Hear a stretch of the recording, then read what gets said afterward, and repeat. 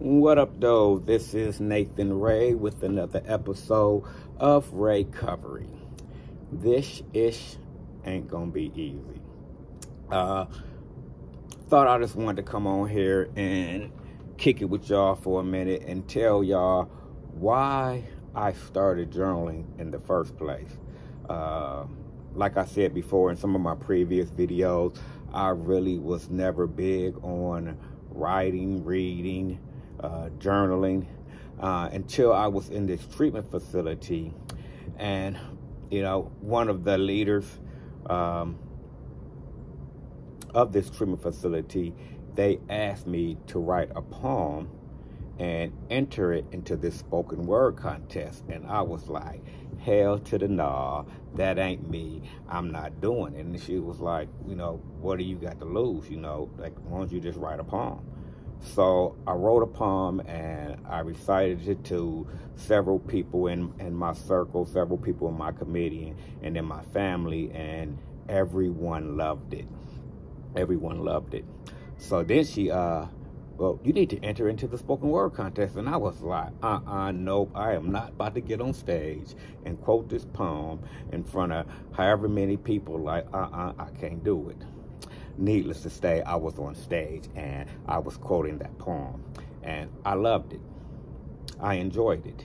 Uh, didn't win the contest, but it still all was first, fun. All third Ah. shift red dots are released. All third shift red dots are released. Third shift get to get off now. Third shift red dots are now released. As you can tell, I'm at one of my jobs, so sometimes the little overhead speaker goes off giving different announcement. But anywho, uh, I got on stage and I quoted the poem and I had fun and I enjoyed it.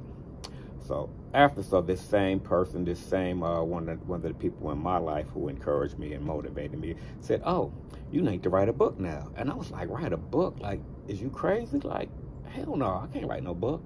And she was like, "It's easy. All you have to do is write ten more poems, just like the one you wrote, and you have a book." And I was like, "Hmm, interesting." And I got excited. So I started journaling again. I started writing more poems. And it started off as me just writing poems. Uh, and then it got into me like writing letters to my daughter, who was at the time was just a little baby, uh, six months um, old. And I started writing letters to her. And then I found myself just randomly just writing about my day. Uh, I caught myself just writing prayers, you know, and I just would write or journal whatever came to the top of my head. Then I, uh, further I got along into the uh, 12 step program, I started reading di- different meditations. And as I would read those meditations, I would journal about kind of like how it affects me and what it means to me. And I kind of still do that to that to this day. And those are the journals that I share with you guys. So, with that being said, I guess I just wanted to let you know how I came about journaling. And it was not easy at all. It was challenging. Uh, a lot of times I didn't want to do it. I had a lot of time on my hand since I had stopped getting high and since I had stopped running the streets and looking for means and ways to get more dope. I had this extra time on my hand. So, hey, why not occupy my time by writing and journaling? Uh, if you're wanting to write or journal, um, kind of got to be dedicated.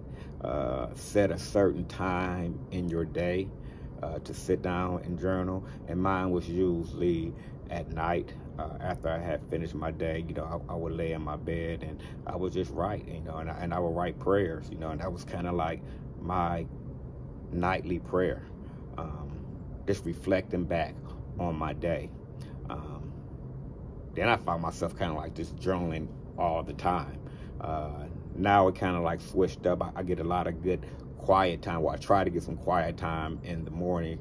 I'm usually the first one in the office, so that's kind of like my quiet time, my, my time to uh, just reflect on life And that's the time that I journal and, you know, read my meditations. So, with that being said, I'm going to chuck y'all up the deuces and I'll holler back. Peace.